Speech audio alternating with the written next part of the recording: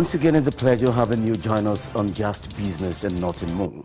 Today, we want to take a critical look at the aspect of information management as a tool for effective business collaboration at a time like this. This is the focus of our discuss for today.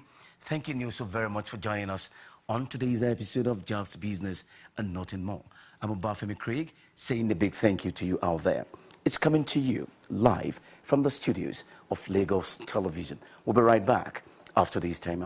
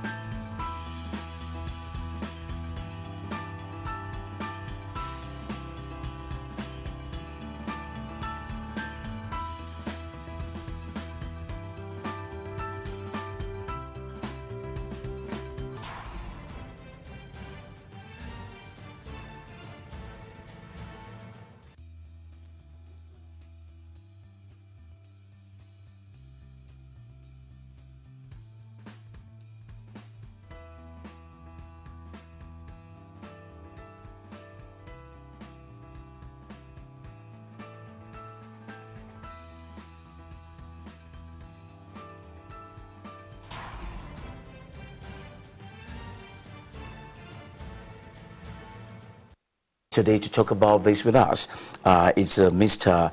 Uh, Dr. Ayod um, Ayodeji uh, Oyewole. He's the president and, of course, uh, chairman and governing council of RIMA Foundation. So it's a great pleasure having you come join us today on the program. The pleasure is mine. Uh, well, I first must commend you for the time that uh, you've really spent with us, uh, taking time to wait for the time we'll be having this with you. We say a big thank you to you once again, sir. The pleasure is mine. Now, let's look at the issue for discuss. We are looking at um, information management as a tool for effective business collaboration. How can we understand this and uh, what narrative can we really uh, take out of this statement? Can we say it to be true or otherwise? Well, um, before we go into that, I think it would be ideal for us to have an insight into as to what um, business collaboration is actually all about. Um, you will agree with me that the um, present realities in terms of the economy, you know, has actually opened the uh, opportunity for businesses, you know, to embark on various uh, forms of collaboration in ensuring that um, they are able to achieve the set objective for which those businesses are actually set up. Um, collaboration comes handy when an organization um, tends to look up to another organization having strength in certain areas that could uh, actually... Talking about yes. interdependency, interrelationship, or uh, connectivity, exactly. or synergy? Synergy, you know, um, it could be between two organizations or more organizations. It could even be um, between uh, public and private, you know, organizations because by um, collaboration actually opens up the opportunity of business, you know, reaching their goals faster than relying on their individual strengths. Mm. So can we take this statement to be correct, that information management can be really used as a tool for effective business collaboration? That is actually correct because um, in any relationship, um, communication seems to be very important. And the only way you can ensure that um, you have effective communication mm. and a business relationship, you know, information management tends to go, um, uh, tends to play a very vital role in ensuring that uh, adequate information are properly passed or are adequately exchanged between or among um, collaborators or business partners. Now, let's look at the fact that um, it is a statement of fact, like you've said. Um, it is a reality that uh, we cannot uh, but contend with if we must look at it critically from the point of view of your analysis and saying what it is in terms of collaboration and synergy. But in it all, how does this impact in the economy of a business for growth, for promotion, for sustenance, for development, and what have you? Well, um, information as uh, is being referred to as the lifeblood of uh, any business entity uh, goes a long way when it is properly managed. Mm. In the sense that um, for any organization uh, to promote efficiency, transparency, accountability, and also be able to achieve the set um, objectives, you know, information is something that plays a very vital role, and uh, the need for it to be properly managed cannot be overemphasized. So if you have quality information in place, you are assured of the fact that the decisions that will be made by such an organization would be of high quality and uh, a business that really want to thrive, that really want to progress would re rely and require the confidence of customers and clients. And the only way you can ensure that is by making sure that um, you have uh, complete information, you have information that can be relied upon, you have information that is complete, information that is free of any form of ambiguity, and um, information that is sustainable that can really help the organization to stand the test of time. If I may bring you to some reality here, sir, we are looking at the policies, the programs, the action uh, I mean, plan of government. But in all of this, Nigeria seems not to have gotten it right. Uh, we have, uh, if you ask me, there is always this ding-dong between the National Assembly and the presidency. There is always this situation where we are saying that the policy drive of the government presently is not in the right direction. The CBN will come with their own uh, perception of how things should be done in terms of helping to sustain certain elemental, you know, processes of the banking system and procedures. The other aspect of oil and gas, the NNPC is also there. And when you look at all of these calculation, equation, permutation, arrangement, there seems to be a no clear-cut uh, focus uh, for economic policies to really thrive and really capture the essence of why they are created. And this gives, I mean, this calls for concern and it's really giving everybody, look, where are we getting it wrong? Mm. So my question here is, what can we do and where are we really getting it wrong that all of these policies seems not to seemingly work or achieve the set goals that it is really said to achieve? Well, I think uh, the major problem we're faced with in this climate has to do with the fact that information is uh, distorted. And uh, for policymakers, um, it's quite unfortunate that um, some policies are being made based on assumption, based on what certain people in certain quarters feel they should be doing, rather than relying on the real and actual information that is out there, what the people actually need. What are those things that are lacking in the society? All, so all and some of these are not actually being put into consideration when it comes to policy formulation. And it's quite unfortunate that um, uh, it will be difficult for any organization or any um, country to actually develop if the source of information being collected uh, cannot be verified and um, you know people cannot vouch for whatever information that is actually getting up there to people in, uh, in government and um, you know at the end of the day you, you don't expect um, a miracle to happen overnight because whatever policy that has to be formulated has to be based on solid information that is properly captured and um, the needs of the citizenry, you know, being um, adequately um, attended to.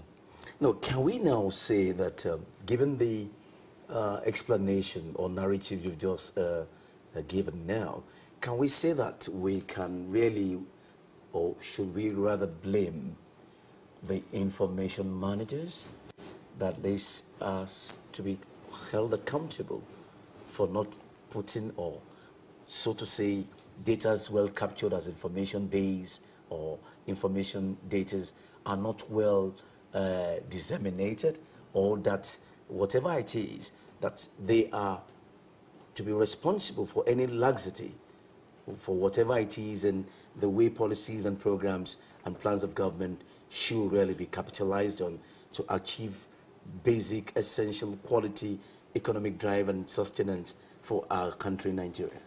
Well, primarily, I think um, uh, I, I, wouldn't want to blame the information managers in the sense that um, for any industry to thrive in any part of the world, there has to be laws, there has to be rules and regulations, there has to be standards, there has to be policies, there has to be specifications that would ensure that people that are appointed, uh, people that are tasked with managing information, you know, conform to certain standards and requirements when it comes to, you know, information handling, information um, dissemination, and so on and so forth. But in this climate, it's so unfortunate that um, you even hardly get to hear or even see any meaningful information management related laws in place.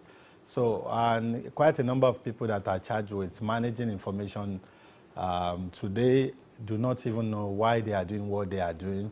Uh, quite a number of them don't even know their roles and responsibilities when it comes to managing information.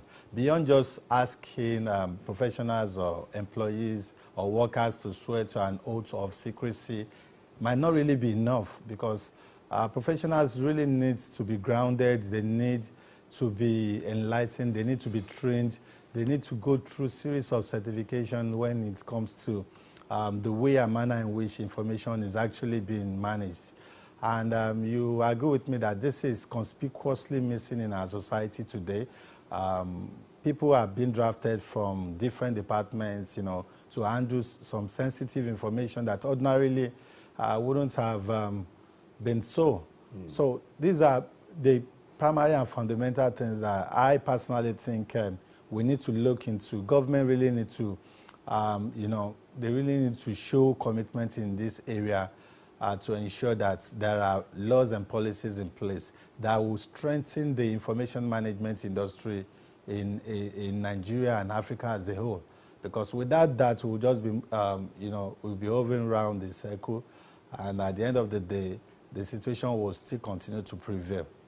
So how do we now connect the necessary connectivity that should be connected between the private sector, those you know driving the private sector or corporate world and the government sector?